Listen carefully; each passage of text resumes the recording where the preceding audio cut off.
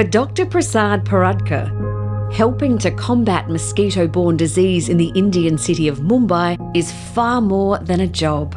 It is very personal. I was born and brought up in Mumbai. I also trained as a medical doctor in Mumbai. And during my career as well, I've seen a lot of patients who uh, develop diseases because of these mosquito borne transmissions. Dr. Paradkar is a senior research scientist at the CSIRO's Australian Centre for Disease Preparedness. His team has been able to genetically engineer mosquitoes, preventing them from transmitting diseases such as dengue or Zika. It's those kinds of innovative techniques he's now keen to share with his counterparts in Mumbai. Australia brings the technology, but Indian scientists, our colleagues, are bringing sort of a real world know how on how to work with the vulnerable communities. So you really need that partnership at the local level.